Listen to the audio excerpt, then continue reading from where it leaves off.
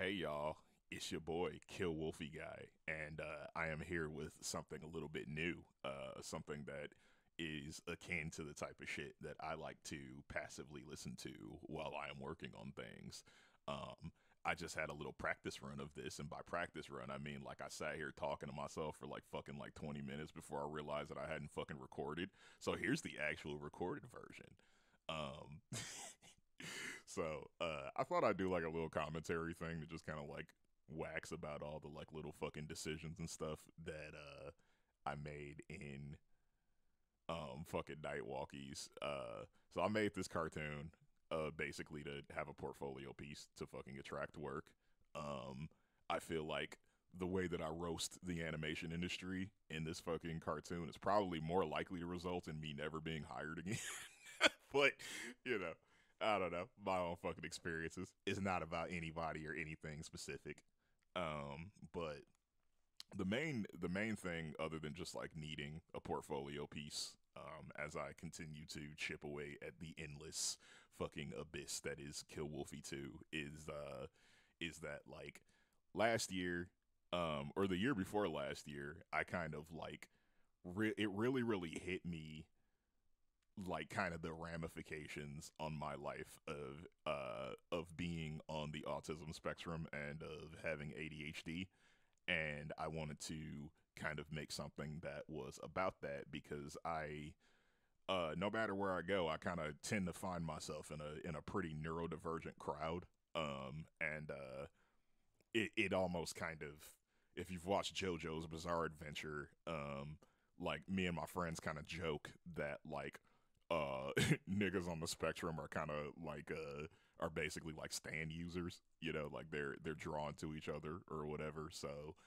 uh that is that is kind of like the point I was making with this cartoon and just to kind of like have a character just to pretty much have fun with a character who um like pretty much resembles the way that I find myself moving throughout the world and socializing and, and shit like that. Um, all this shit is not exactly one for one. It's not very, very specific experiences or anything like that. But uh but nonetheless, Augie is very, very much uh like me without looking like me, um, in a lot of fucking ways. Um, no, I do not sleep through all table reads. and uh I am not a writer. I'm a storyboard artist. Uh but yeah, I just thought I'd, you know, go through and talk about some of the inspirations and shit because I like listening to shit like this, and I feel like somebody the fuck else might. You know what I'm saying? Y'all niggas be watching me streaming shit back when I was doing that, so yeah, uh, I thought I'd give it a fucking try. And uh, god damn, do I feel dumb as fuck because I literally am just repeating shit that I that I already fucking said. Um, was recording this shit, or while I was thinking I was recording this shit a few minutes ago, and I was not. But that's okay. Practice run. I'm all fucking lubed up and shit. You know what I'm saying? Nigga just slide through this shit like all fucking like slick like.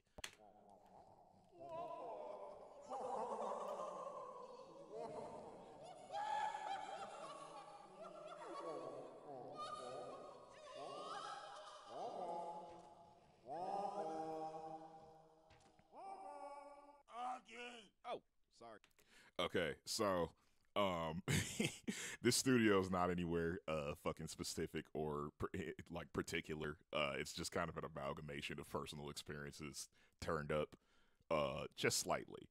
Ain't that fucking different from like some of the shit that I have uh that I've seen or dealt with or been sort of a victim of uh in these corporate art settings before, but uh you may notice that Roger Klotz over here on the fucking right, um, in the middle, is holding a fucking Nerf gun and he was shooting Nerf darts at Augie while he was sleeping.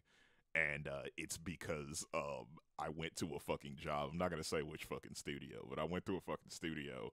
And as a part of my fucking orientation package, these niggas gave me a fucking Nerf gun and this Nerf gun was given to me basically for the express purpose of um if if we ever took any pictures or videos in the office um they wanted us to make the studio look very whimsical and like we were having fun at work Now, being a fucking storyboard artist or an animator at a TV studio is let, let me not hold you up. It is a office job, okay? Like you go there, you are in an office with white walls and boardrooms and fucking uh, Berber carpet and uh and it, it, it smells like a fucking office and it looks and functions like an office. Um but you know, I, I'm sure y'all have probably seen like videos on TV or something like that if you're a younger cat or if you're somebody my age. Uh, you know, like videos of somebody carrying a camera around like Nickelodeon, Cartoon Network, you know, or one of these fucking places, and uh, fucking, um, you know, niggas are shooting fucking Nerf guns at each other, you know, sliming each other, and fucking and fucking there, there's toys everywhere and stuff like that, and that's not entirely inaccurate, but I will say this though, uh, you know, it is definitely by design. Because if you watch a fucking video of like people in a fucking, you know, animation studio or whatever office building shooting nerf guns and shit like that, chances are that fucking whimsy uh is kind of just like a momentary cover for uh a horrific, horrific fear of encroaching deadlines. Uh, that is that is really what's going through people's minds and stuff like that. It's not that working at an animation studio is all that. It's it's fucking not. But uh, but I'm just saying though, uh, some of that some of that whimsy is a little fucking curated sometimes. You know, in very very specific ways, if you know what I mean. Like there's a there's a there's a lifestyle marketing to uh to being a to being a corporate artist that uh animation has its own fucking brand of and this is this is that. Um and uh yeah but the studio's not anywhere specific or anything like that um even though it has things that resemble other things but uh you know they're all they all have stuff that is uh quite worth roasting. Um also the guy on the fucking left here um who has like ahegao on his fucking shirt. That fucking that those Japanese symbols say fucking ahegao. And if you don't know what ahegao is, uh, Google it if you're an adult. Awkward.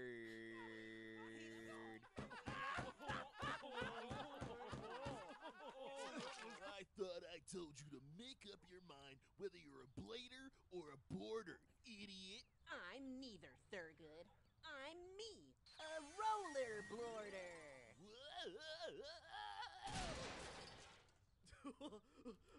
Whoa, awkward.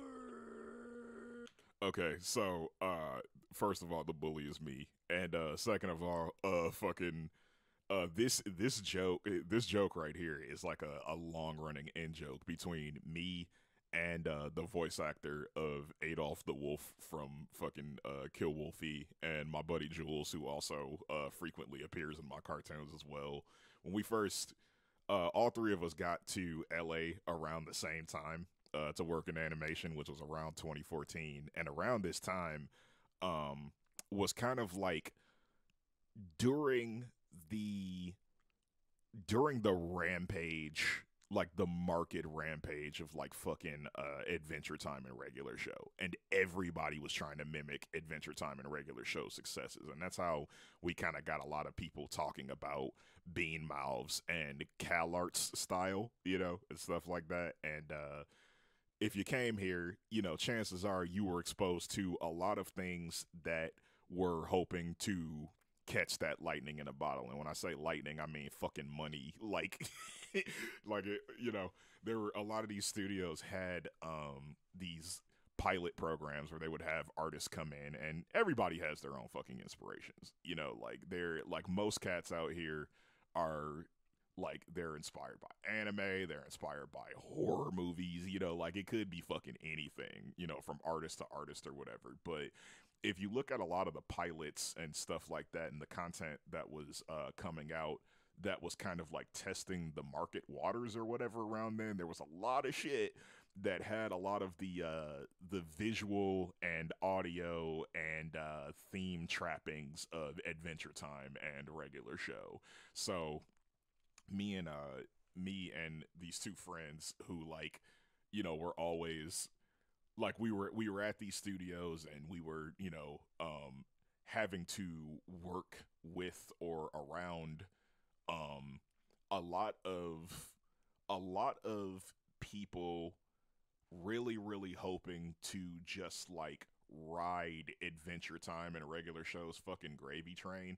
And this was not in general the artists. This was this was mostly the people who were there uh to make a buck or you know like they they were there you know like the the people at the kind of top end or whatever were basically filtering everybody through how close they could make their idea resemble adventure time or regular show not to say there was nobody you know who was a grunt like me who was who was just genuinely inspired by it uh I fucking love Adventure Time and regular show, and it inspiration of it has probably shown up in my work. You know, like fucking like Hyenaville definitely you know like was that like 20 year old loser core thing or whatever you know like i would but like um but you know the reason that people were doing it was more because there was this idea sorry not was there is kind of this idea when it comes to corporate art that if something is mad fucking successful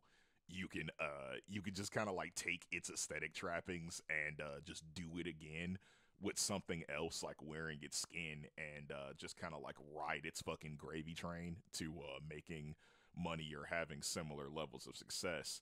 So you had this kind of ecosystem around here where everybody um was either forced to or genuinely wanted to mimic uh adventure time and regular show uh hoping to fucking get rich off that shit or hoping to fucking get a show or to fucking stay employed if you were one of us and just kind of like afraid for your fucking future or whatever. Uh, there was a lot of there was a lot of mimicry going on around here and a lot of a lot of woo woo, you know, and uh, and fucking you know ladder walking and and salt being thrown over shoulders to recreate the successes of Adventure Time and regular show and uh everybody who was a victim of it fucking roast was roasting it back then. Um, it's kind of how you got like the CalArt style jokes online and stuff like that about the bean mouths and the fucking noodle arms and stuff like that. Uh, but while there are people who just kind of like look at something that is successful that they just kind of like do the same thing and like you know whatever everybody's approach to art is fucking different but like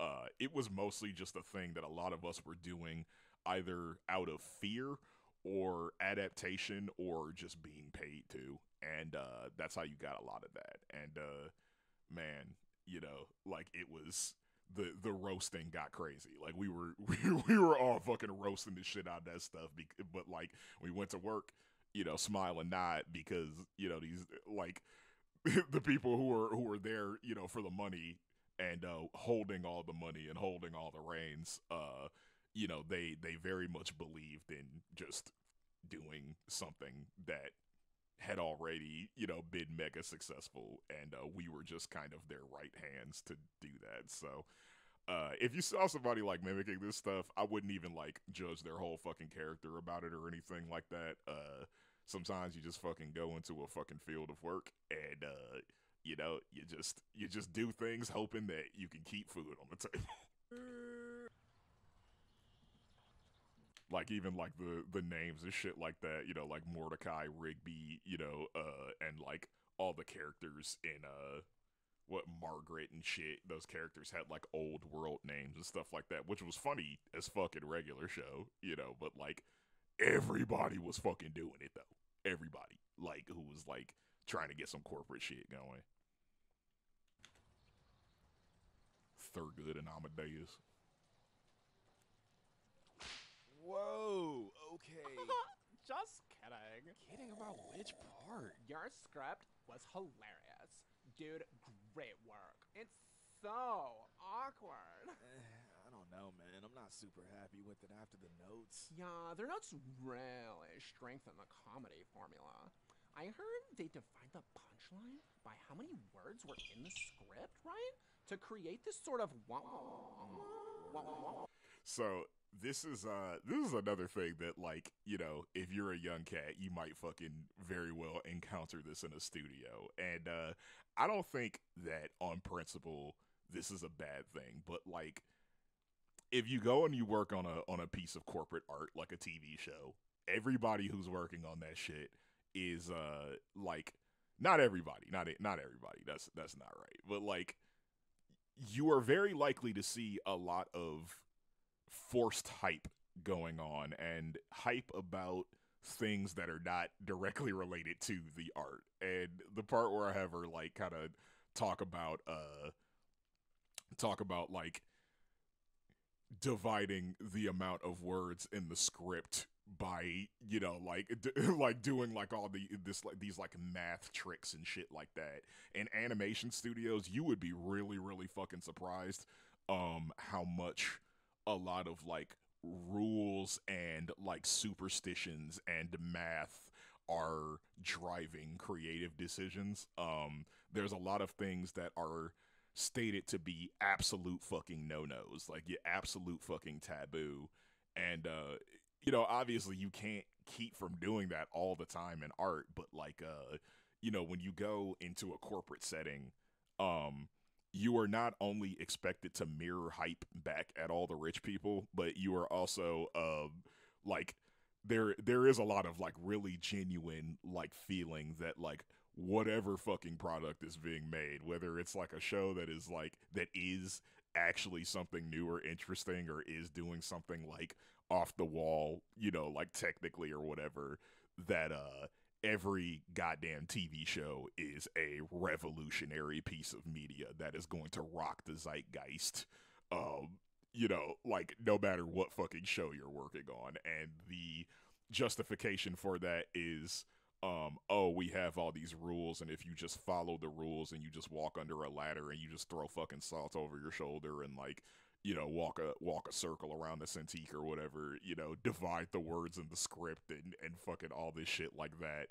you will have a massive success that will uh, boost your your resume and your social media presence and and the stock portfolios of the people who are really pulling all the fucking strings. So that's kind of what this is making fun of and uh it I the reason that you know like Augie is having the fucking response that he is having uh other than just the normal parts of just being like a, a fucking like neurotic motherfucker like trying to fucking like hold your shit in out in public and in a social situation is uh is just kind of like basically me in these fucking situations being a person who values imperfect art. I I do not have fucking high standards for art. I do not think that art needs a lot of rules or to be like extremely technically impressive. I'm sure that's pretty obvious in my work that I am just a fan of just doing fucking whatever you feel like doing in the moment with art. And uh as wacky and uh and whimsical as animation's marketing is, uh honestly a lot of it is very very very very very rigid and rules driven and math driven when it comes to these things. You know, like comedy must be shot flat. If you're going to do anything in a cartoon, you must do it 3 times and if you don't adhere perfectly to the 3 act structure within every scene and everything, then like it's it's not fucking worth a damn, you know, things like that. And for the record, you know, like all these things like do have their fucking purpose, you know, like there's there's nothing wrong with the three act structure. There's nothing wrong with like you know thinking about like screen direction or cinematic consistency or anything like that. Like you know. Uh, technical stuff in art has its fucking like it has its fucking merits, but it can't be everything. But when you're in a corporate setting, it is everything. No matter how whimsical the fucking marketing is. And because everybody is hype about cartoons, everybody is also by association hype about all the rules and math as well because the rules and math are already there. They're being told to you by successful rich people. And uh, you want to be successful and rich, so you obsess over the rules and math too when you're working. Except uh, when you're me, you know, and let alone being able to look a motherfucker in the fucking eyes. You talking about remembering all their fucking rules for art and shit when you grew up drawing dicks, you know, like to fucking like not fucking pay attention in class. It's it's a lot. But uh yeah, just just kind of roasting some, you know, some of my own fucking experiences. And the ass smack, yes. Yes, um I have been talked to the way that Rhonda fucking talks to Augie in this fucking cartoon. Ah, Oh my dicks. God, Augie, you're so funny. See you, oh. GBF. We gotta go gay clubbing. Mm. We need to get you some dick, honey, or your pussy's gonna dry up. Dry up. Bruh, boundary. I have had many women in these fucking corporate animation settings fucking talk to me this way. Like that was this scene was barely any sort of fucking exaggeration at all. Like you get like sometimes these motherfuckers walk into a studio and they they treat you like like if they're a fucking trust fund kid or something like that, they treat you just like they fucking treated the fucking help or whatever, you know, like that was around the house if they if they just kind of waited and trust funded their way to being somebody important in Hollywood. Oh my god, you and Rhonda are so funny. How long have you guys been BFFs? Uh, I guess since production started, so maybe like a week and four days. Um, so shit like this that's on the fucking walls is uh, kind of representative of some of the the animation meta shit that I was talking about. You know, where they're like, they're kind of like, we already know what we fucking want. We want a success that mimics blank. You know, kind of fucking thing. And uh, while I have I've only pitched a show once, and it was not it was not because I went looking for it. It was because like some some younger cats who were around my age, um, or like I think honestly even younger than me, like kind of spotted uh, some of my Kill Wolfie shit online and like were like, hey, do you want to fucking pitch? And it it was going pretty good. Uh, it, that's this is not reflective of that specifically, but uh, honestly though, like a lot of places are just kind of like collecting pitches and pilots from artists uh, for two very dark reasons uh, that can be very, very demoralizing. The first of which is um, basically to just have somebody else come in and be a face for the same types of things that they would already fucking think of to make. And uh, and oftentimes pitches are taken just to keep the artist from taking it and giving it to somewhere else, even if the studio has no fucking interest in it. So there's a lot of roasting about having a fucking show here. Also, the fucking ukulele thing is related to the Adventure Time response content that I was kind of roasting earlier or whatever.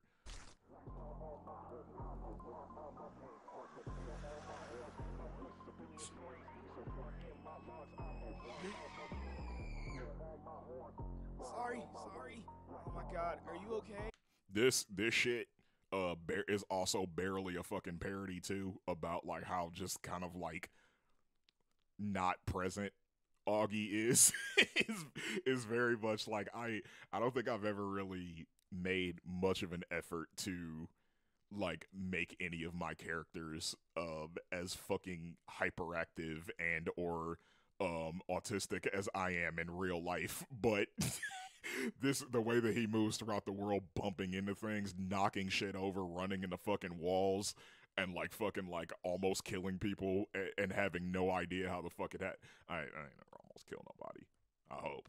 But this is just this is pretty accurate to my day to day even though Augie is not he doesn't like look like me but like I I am constantly finding myself in situations like this like just fucking like oh my god I am clumsy as shit bro. like it, it is ugh.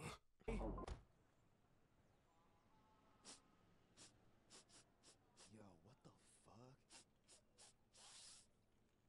Also, like with the fucking Edge Lord Cup, uh, I put Edgehog on his fucking license plate because, like, basic because I like really, really edgy shit, but I am not very intimidating or edgy in real life to be fucking real. Um, and neither is Augie. Uh, and also too, um, I basically like throughout this cartoon uh had everything that is spelled anywhere is is spelled full of fucking typos because I thought it was funny. There's nothing deep to that.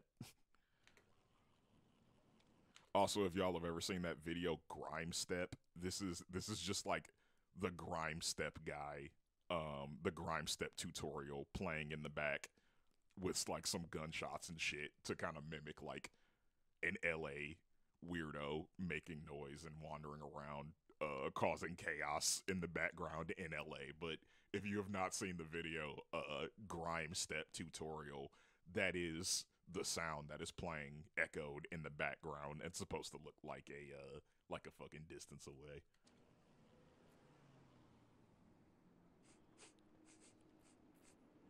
Come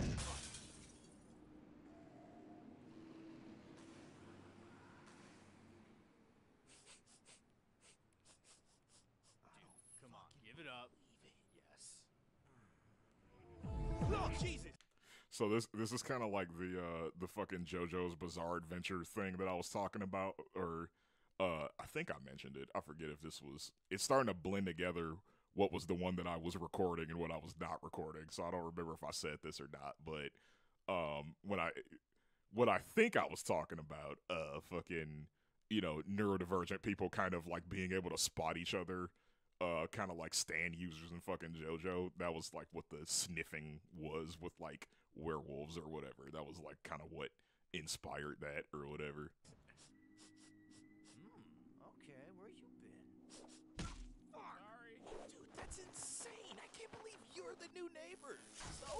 Fuck are you? Name's Tyrone, dude. Just got in from Denver. Yo, I goddamn love Colorado. What the fuck are you doing here?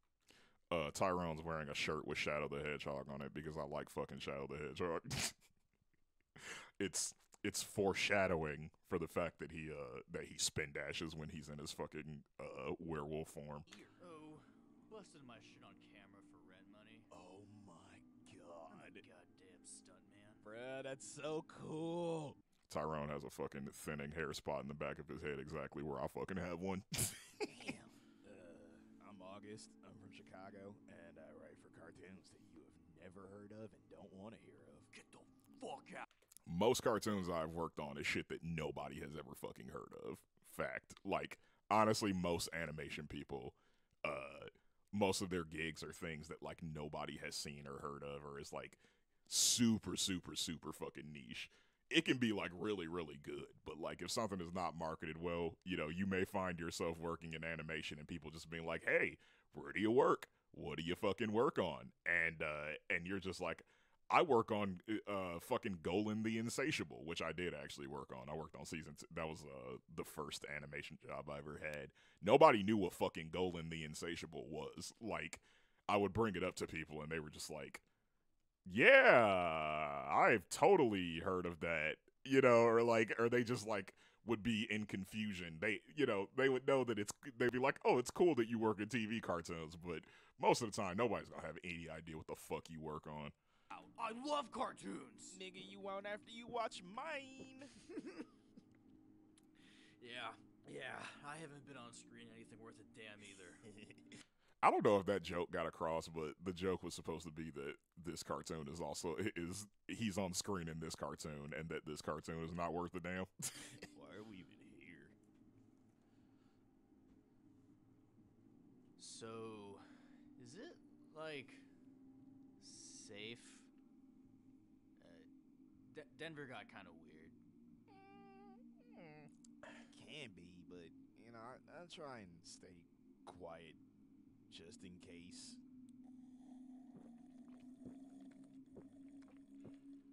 so that that exchange was kind of more about like being queer somewhere or like being a minority than anything, you know. Uh, but uh, I I kind of I rolled a lot of stuff into the the werewolf thing, just general general any marginalized group. You know, it's not a, it's not a clean one for one thing with like being neurodivergent or anything. Uh, but yeah, like that that's where I got a lot of that. And when they talk about it being safe, um Augie Augie's apartment is like full of like weapons from like Bloodborne and Castlevania and shit and I was hoping to I was hoping to kind of convey that um he has had like demon hunters like come after him constantly. Um the skeleton in his fucking plant and like the skulls are supposed to be demon hunters that Augie has killed and his wall is full of uh Castlevania and Bloodborne demon hunter shit with insults written next to it. So like they say like dipshit, pathetic, ass face, moron, idiot, fuckwit, you know. Um but I love Bloodborne. It's one of my favorite games ever. So I put cool guy, but get wrecked next to the uh, hunter's saw from Bloodborne. Man, I have been in cars all day, every day for like two days straight. Can I interest you in some night walkies? Bitch, what took you so long to add? So, and the night walkie specifically is actually like this is something that me and my friends do where uh a lot of our time is spent wandering around the neighborhood high as fuck at night walking and waxing philosophical about really unimportant shit. And that is kind of like where, where the or maybe very unimportant very or maybe very unimportant shit. Very important shit or very unimportant shit. But uh we don't really like go out to bars or like do much wacky shit so much as just like walk around and look at stuff in LA high as fuck because uh LA for many of us like you know both of these cats are not from LA uh and most people I know are not from LA and uh LA looks very mystical you know uh despite its grime and needles on the floor and uh unscrupulous completely sociopathic unchecked capitalism uh it is still a pretty cool town to walk around in and shit like that if you didn't grow up here. Cryptid to cryptic, big ego, big dick, sanctions too lifted for Lexi's in business, masterless, kids, sounds from the land of the passionless, soft-spoken boys with glasses, get Also, this cartoon is the first time I ever like used any of my music where I like did the vocals or like the whole track by myself. Like this soundtrack I, I made completely was all music that I had already made, which was very, very new. Uh, I typically get a musician to help out, but uh, yeah. I figured I'd just show my music dick a little bit, you know.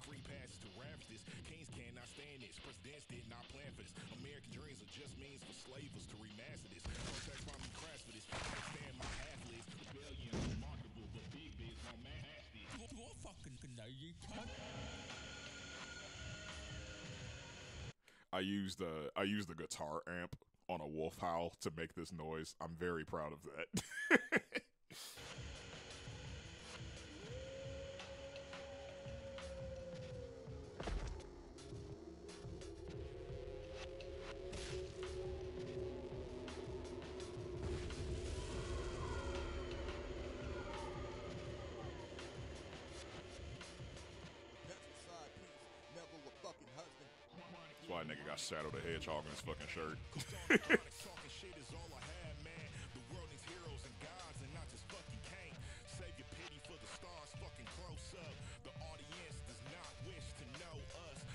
magical Negro, y'all can lick my tank.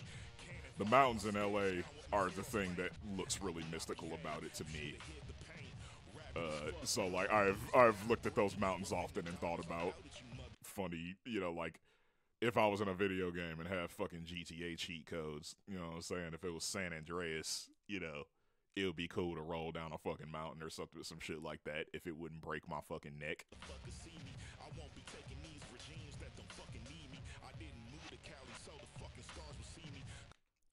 I know it's ghoulish as fuck that they fucking pee in in like a pool, like up in somebody's fucking house. But like, trust me when I say that, like these fucking like houses in the fucking hills or whatever, like where where these like hyper rich motherfuckers live or whatever. Um, it gets a little weird up there. There have been times that me and my roommates have been out for like walks or whatever, just on a fucking sidewalk or like my friends or whatever, and just been surrounded by cops for no fucking reason. So. I have I have, I have a little bit of spite. I have a little bit of spite towards rich people who live in the hills. They are they will call the cops on you for nothing. I have everywhere I have lived here. I've I have either been stopped a few times by a cop or two for just walking down the fucking street, and especially at times when I've been walking around in the hills that have sidewalks and been surrounded by cops because I know these motherfuckers saw a nigga and probably fucking called the cops. Let's be real. I'd pee in their pool if I could get away with it.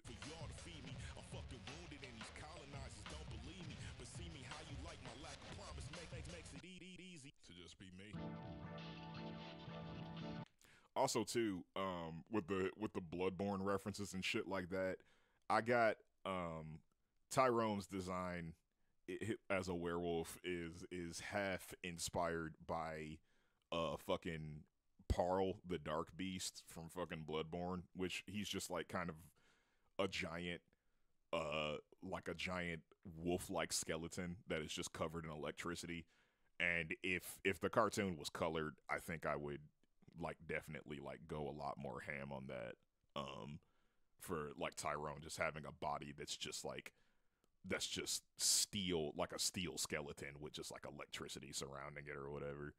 Um and Augie is kind of like he's he's kind of inspired by like uh what is it? The fucking um I think the Saint Beast like one of the fucking bosses who had like a who had like tendrils and like a floppy head and shit and just like does poison and shit like that. So their their fucking designs are are uh are very much just two bloodborne bosses that I like and uh the moon the moon is is intended to I don't know if I'm actually going to do anything further with like this lore, but the moon is blown up in the shape of a cross, kind of hoping to insinuate that like the world is aware that there are demons walking around in human flesh and they are like that's something that you know the forces in that world did to make people think that you know like that they are safe from demons or whatever because they have they are functioning on uh saving people from demons. Like in the beginning, it says that like Wackadoodoo, the fucking animation studio that uh that fucking Augie works at, uh wherever possible, like it says that it was like a Catholic defense industry and like a lot of shit like in the background in these cartoons like it just has crosses everywhere like the truck that like drives by has like a cross on it and shit like that just to kind of like create the vibe that people are people are aware that there are werewolves and other demons in this world and uh and I kind of wanted to like show that in the short but I don't know if I'm going to do anything else with it but if I do it'll be related to that.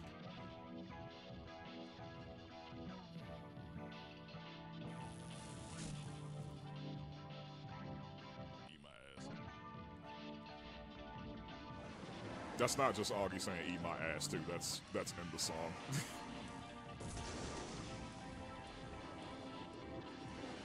Dick metaphor.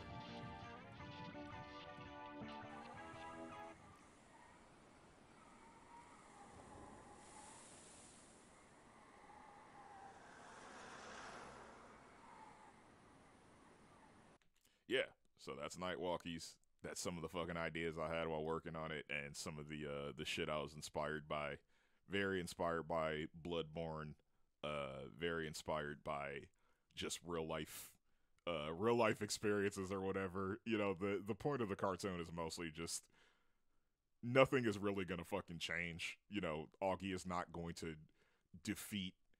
Uh, he's not gonna defeat capitalism or defeat you know like the the larger forces that exist in this world or something i just wanted to kind of like make something that was like yeah man you know existing within a capitalist hellscape fucking sucks but at least you can you can run around high with the homies or whatever and or you know pork it out with some fucking rando or, or something like that that you fucking run into and uh yeah both both of these characters uh are both kind of like self representations. I think everybody's fucking OCs are self representations, I guess. But like, you know, um, that's kind of mostly what it was about. Was just to be like, hey yo, you know, your your actual life can can can be kind of like daunting or whatever, but you know, uh, you you live it so you can have the freedom to just kind of like kick it with people and have fun after work and on Friday. That's that's kind of the whole point of the fucking cartoon and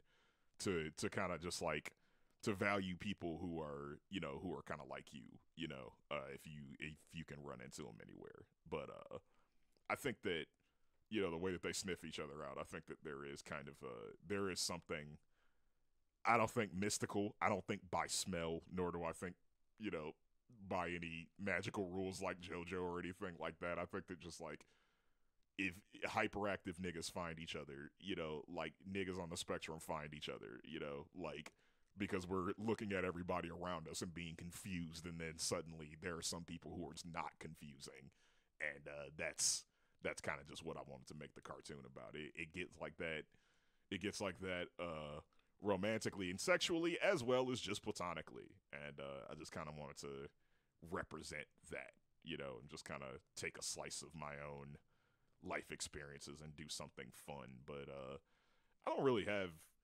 any super huge grand ideas with this fucking story like i do with like you know some of the other stuff that i post. But uh yeah i had, I had fun making it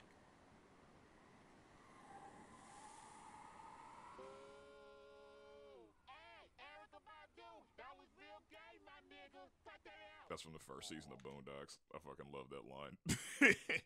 yeah.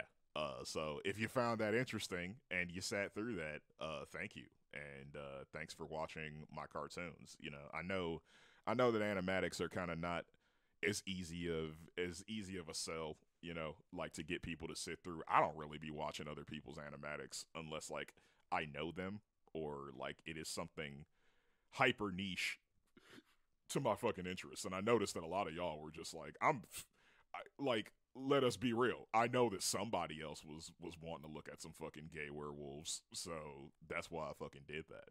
Um, but yeah, that's uh, that's Night Walkies. I am uh, sometime this month. I'm gonna be putting out another animatic film as well.